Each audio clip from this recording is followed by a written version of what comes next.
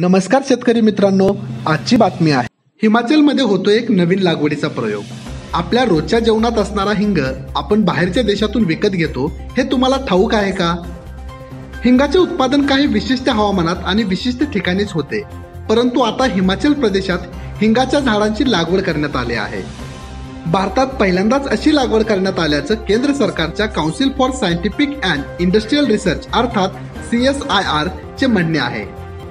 पालमपूरमधील C S I आरच्या institute for Himalaya जैवसंपदा प्रायोगिक संस्थेनं म्हणजेच आय एच बी टीने ही लागवड केली आहे. भारतात वापरले जाणारे हिंग हे परदेशातून म्हणजेच इराण अफगाणिस्तान आणि काही प्रमाणात मध्ये उझबेकिस्तानातून आयात केले जाते. काही व्यापारी हे कझागिस्तानात मधून देखील हिंगाची आयात करतात. विशेषतः अफगाण आणि पठाणी हिंगाला जास्त मागणी असते. भारतात सध्या दरवर्षी बाराशे टन कच्च्या हिंगाची आयात होते ज्यासाठी आपल्याला सहाशे कोटी रुपये मोजावे लागतात. त्यामुळे देशात हिंगाची यशस्वी लागवड झाली तर आयातीचे प्रमाण आणि हिंगाच्या किमती देखील कमी होतील असा अंदाज आहे.